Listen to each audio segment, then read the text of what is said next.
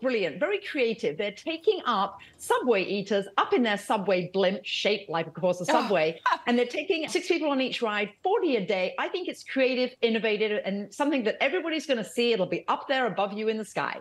But I know they're going to three different cities. I think it's Kansas City, Orlando, and Miami. are the three cities Correct. that they're doing this in. That's a whole lot of fun. We'll see how it goes. Mm. Hilary Fordwich, Carrie Copernero, thank you both for joining us this morning.